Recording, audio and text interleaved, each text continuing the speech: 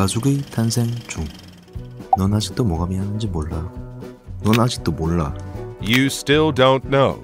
뭐가 미안한지를 이꼬르 무엇을 미안해야 할지를 무엇을 응? what 미안해야 할지를 You should be sorry for. 그래서 무엇을 미안해야 할지를 What you should be sorry for. 자 그래서 넌 아직도 뭐가 미안한지 몰라 You still don't know what you should be sorry for. 자 다시 한번. You still don't know what you should be sorry for. 친구가 다니던 학원에서 평소에 좋아하던 이성의 번호를 받았다고 합니다. 이번 달까지 하고 그만둔다길래 놓치기 싫어서 받았어. 사실 제가 아는 지인인데 이름 저장이 엉뚱하게 돼 있더라고요. 심지어 번호까지 달랐습니다. 병신 넌 아직 그녀 이름도 몰라. You still don't know her name. 좋아요는 thank you love you